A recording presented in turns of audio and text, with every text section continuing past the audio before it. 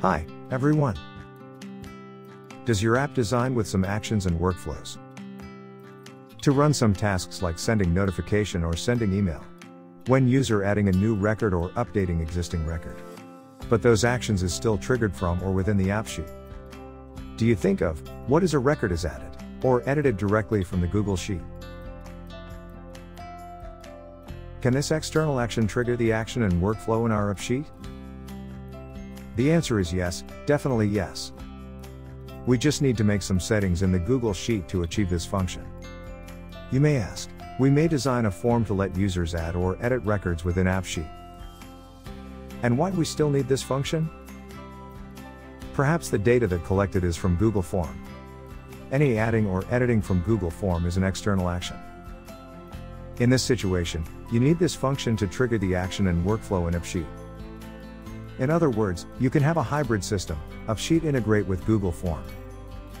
Other than this, today I also going to share with you the new added function from AppSheet. The automation. By using automation, it makes thing much more simple. It quite similar to action and workflow. We'll share with you how it works later. So let's start now. Open the Google Sheet. In the Google Sheet, click the add-ons in the top menu. Then, click the Get Add-ons option. In the Marketplace, search of Sheet Events.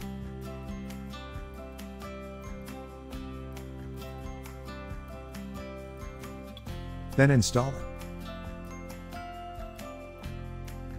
Wait for a couple of seconds. The AppSheet Events option will be shown in the Add-ons menu.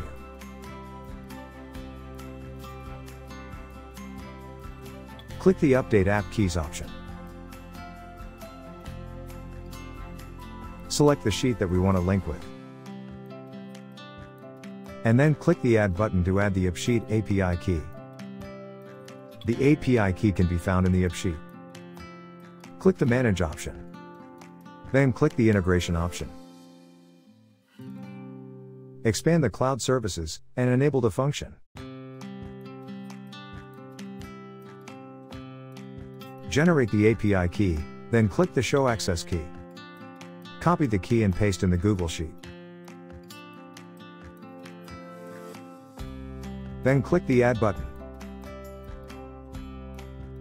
Once in Success linked, then added key will show here. The linkage is done. Now, any new added records or changes of the records, it will trigger the action in the AppSheet. Next, I'm going to share how easily create process and task by creating a bot in automation.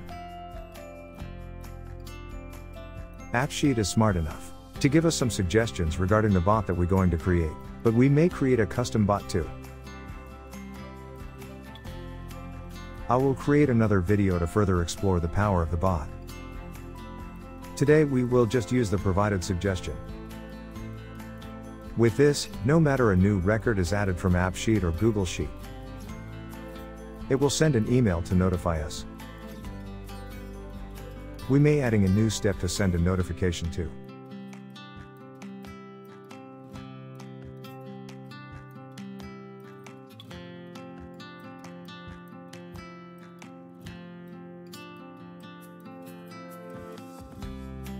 It is very simple right?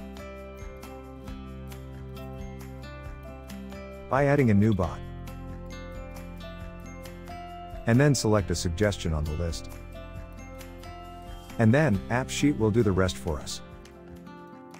That's all for today. Thank you and bye.